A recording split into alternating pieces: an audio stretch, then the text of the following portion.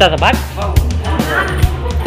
बाबू मेरा बा- इस खबर के प्रायोजक हैं ग्लोमेक्स अस्पताल। सभी इलाज एक छत के नीचे हाईटेक सुविधा से लेस डॉक्टर रामाजी चौधरी के सामने। 24 घंटा इमरजेंसी सेवा उपलब्ध।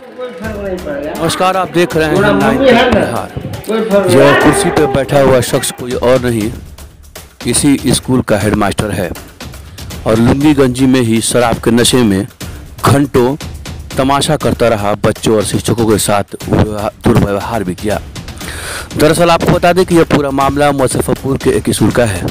यह वीडियो सकरा प्रखंड के डिहुली इसहाक पंचायत के पहाड़पुर उर्दू राजकीय मध्य विद्यालय की है, जहाँ प्रधानाध्यापक को बुधवार को शराब के नशे में पकड़कर पुलिस के हवाले शिक्षकों ने कर दिया।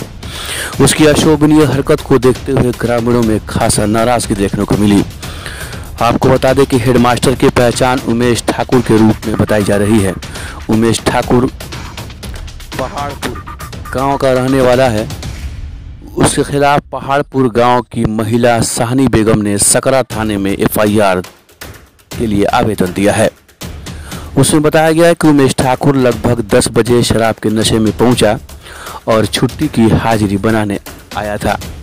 स्कूल में आते ही कक्षा में जाकर शिक्षक के सामने बच्चों से दुर्व्यवहार करने लगा और अपशब्द शब्दों का इस्तेमाल करने लगा। बच्चों ने इसकी सूचना ग्रामीणों को दी। ग्रामीणों ने पकड़कर पुलिस के हवाले कर दिया। पुलिस ने जब जाँच की तो ग्रामीणों ने बताया कि आए दिन वो नशे की हालत में कई बार स्कूल आ चुका है और विरोध करने के बाद भी उसकी आदत में कोई सुधार नहीं हुई और आज नशे की हालत में लुंगी गंजी पर चला आया। फिर सोचिए कि स्कूल का हेडमास्टर गुरुजी का यह हाल है तो बच्चों पर कैसा असर पड़ेगा? सरकार जो पैसा देती है कि वक्त से आकर पढ़ाए नहीं आए तो छुट्टी का छुट्टी कटेगा।